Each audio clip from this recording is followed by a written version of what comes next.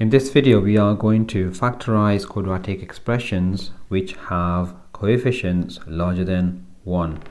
Now what do we mean by coefficient larger than 1? If the expression has been written in the form ax squared plus bx plus c then this number here, the value of a is larger than 1. So we can see from this question that the coefficient is 2.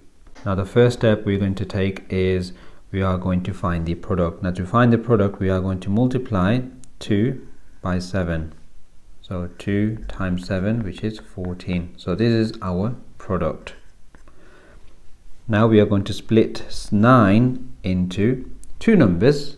When we multiply these two numbers it gives us the product 14 and when we add or subtract gives us 9.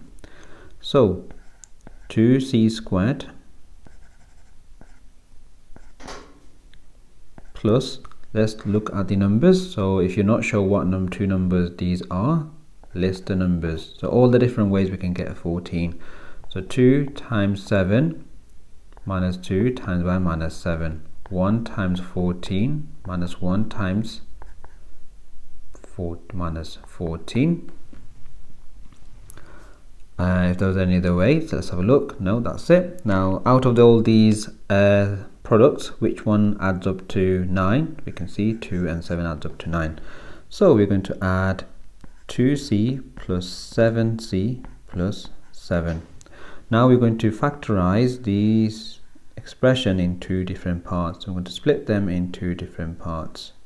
Okay so first of all let's factorize 2c squared plus 2c so we can see 2 is common highest common factor is 2 and then c is common so inside the bracket 2c squared divided by 2c is just c and then plus 2c divided by 2c is just plus 1.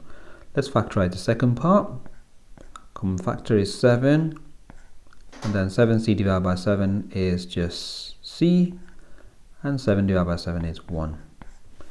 Let's factorize these two parts now so we can see so you got c plus 1 and in the other bracket we have 2c plus 7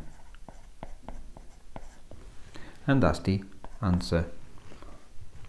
So we need to make sure we are multiplying the coefficient by the n number to find the product and then split it find the product and sum and then factorize it in two parts and then finally factorize it again.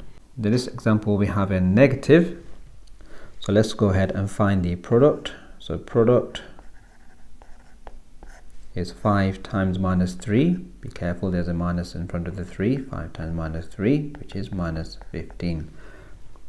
List all the different ways we can get 15, but when you add those two numbers, we need to find the sum of 2. So 1 times 15 is a minus 15, so we minus 15. So minus 1 times 15. 3 times minus 5 and minus 3 times 5. So out of all these, we can see 3 times minus 3 times 5 gives us a 2, positive 2. So let's go ahead and write this 5x squared plus 5x minus 3x minus 3.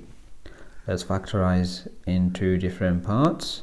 5x squared and 5x, common factor is 5x 5x squared divided by 5x is just x. 5x divided by 5x is plus 1. Minus 3 is a common factor.